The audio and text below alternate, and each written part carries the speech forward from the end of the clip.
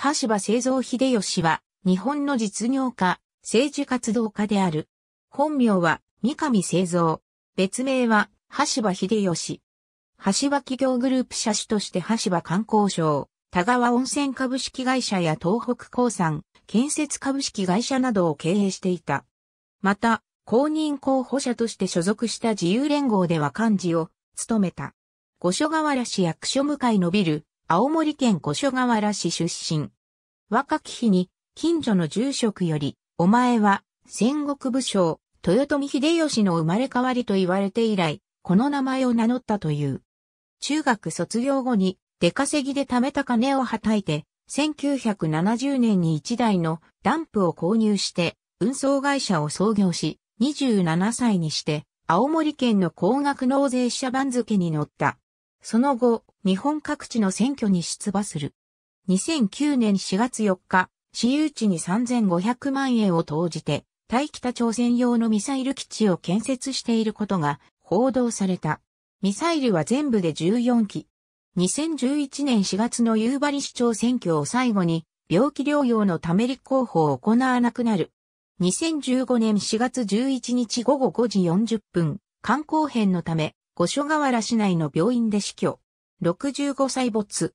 政治にも興味を持っており、以下のように数々の選挙に立候補していたが、一度も当選することはなかった。1976年地元金木町長選挙に出馬する者の落選、公職選挙法に基づく選挙違反により逮捕。その後1999年東京都知事選挙を皮切りに長野県知事選挙、大阪府知事選挙、参議院選挙、衆議院選挙、大阪市長選挙など多数の選挙に立候補。選挙のキャッチコピーは2002年の長野県知事選挙からは輝く新時代を使用していた。これは青森県がかつて使用していた輝く青森新時代というキャッチコピーを借用したのもと思われる。金木町長選挙では本名の三上製造を東京都知事選では橋場製造秀吉をそれぞれ名乗っていたが大阪府知事選挙、市長選挙では橋場秀吉として立候補した。長野県知事選挙ではヘリコプターからの演説、大阪府知事選挙では金箔を使用した武士の鎧兜姿のポスターなど派手な選挙活動でも注目された。また、長野県知事選挙では田中康夫知事の脱ダム宣言を非難し、ダム建設推進を積極的に唱えた唯一の候補であったことも注目された。なお、本人の弁によればあくまでも目標は大阪であり、国政選挙や東京、長野は橋場秀吉を通称として認めさせるための出馬だったとのこと。以降では不出馬に終わったものも含めて記述する。2005年3月28日に旧五所川原市、金木町、市浦村の合併によって新たに誕生した五所川原市の市長選挙に本名で立候補。成田守、旧五所川原市長との一騎打ちとなった。独自候補擁立を見送った民主党県連の一部、今広主権利、横山北斗らからの支援も受けたが及ばなかった。供託金没収は免れた。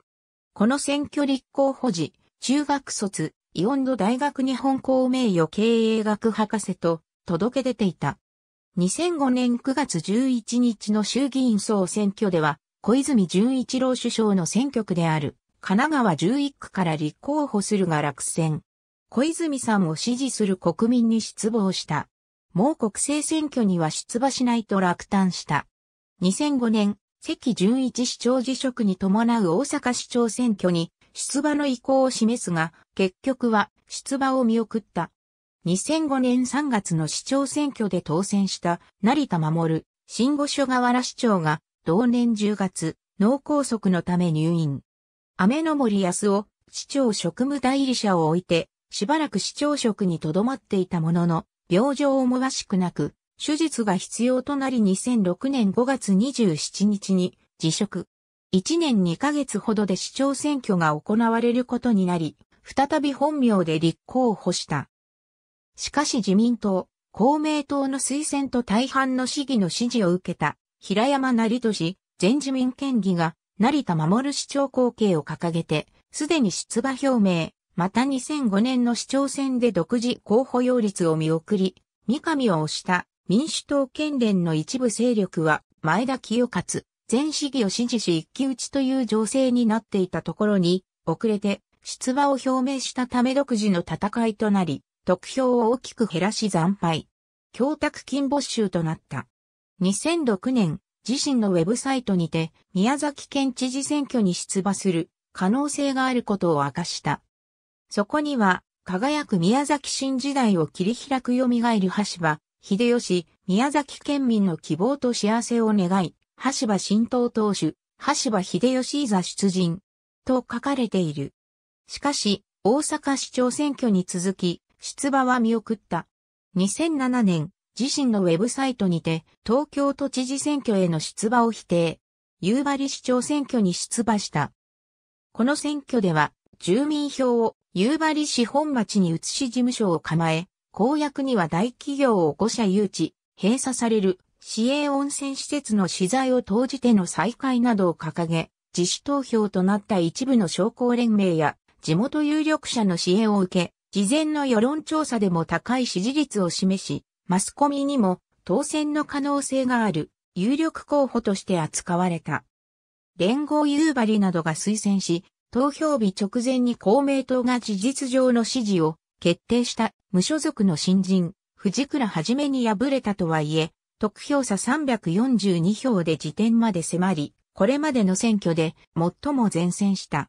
また、2005年に行われた五所川原市長選に続き、供託金没収を免れた。選挙後、自らが経営する企業が夕張に進出し、行政サービスの受託事業などを展開している。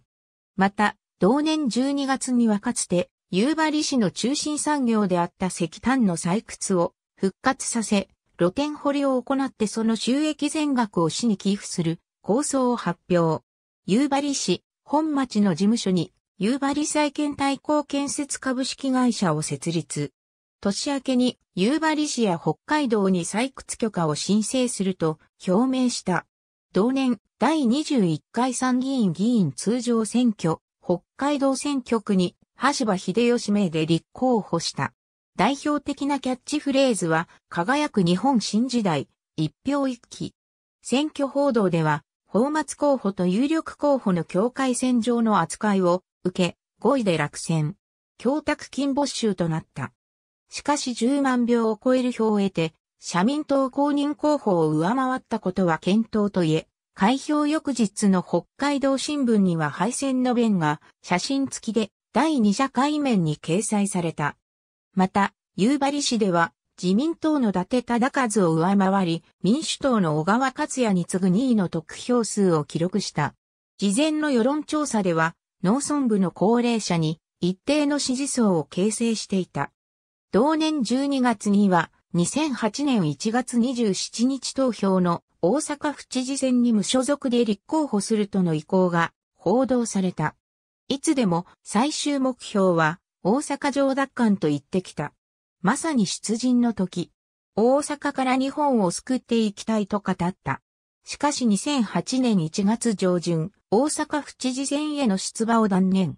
北海道、夕張市にできた講演会、秀吉会からの要請に応えたものと報じられた。2008年9月19日、北海道新聞の取材に対し、第45回衆議院議員総選挙に北海道第10区から出馬すると表明した。夕張市を本拠地に地域格差の是正を訴え、新東大地との連携、選挙協力を図っていると述べた。しかし、2009年1月14日、出馬断念。次の夕張市長選に専念するためとしている。2009年5月24日、田子町内で記者会見を行い、同年6月21日に行われる田子町長選挙の出馬表明をした。